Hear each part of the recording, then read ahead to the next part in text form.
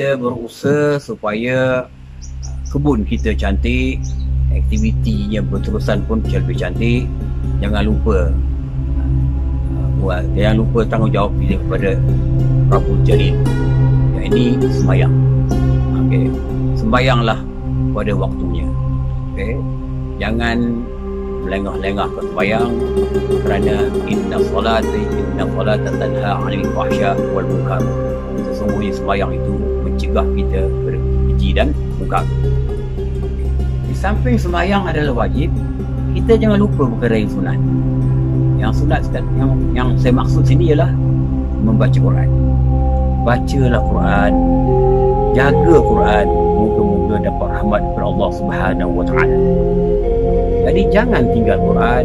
Sentiasalah berada ada hati kita. Cari mana-mana masa dan tempat kita ambil masa supaya kita boleh membaca Quran.